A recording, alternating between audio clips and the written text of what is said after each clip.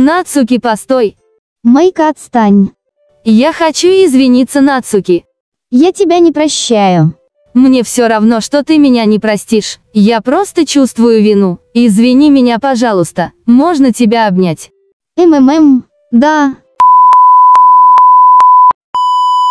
Давай вернемся в класс, а то другие что-то не то подумают. Да, хорошо. Я обязательно завтра принесу твою мангу, Моника. Девочки, привет, а где Нацуки? Она не пришла сегодня.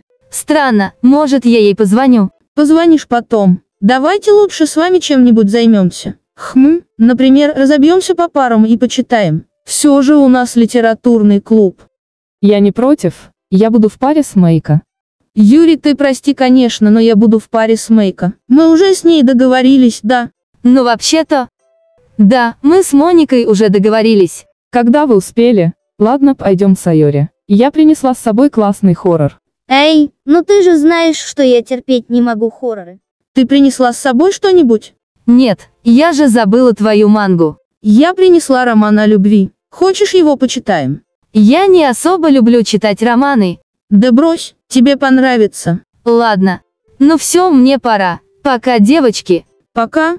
Пока. Пока. Хм, странно, что Нацуки не пришла. Может, она заболела? Приду домой и позвоню ей.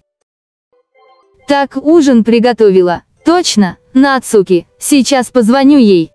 Извините, номер не существует или набран неправильно. Что? Sorry, this number does not exist. or-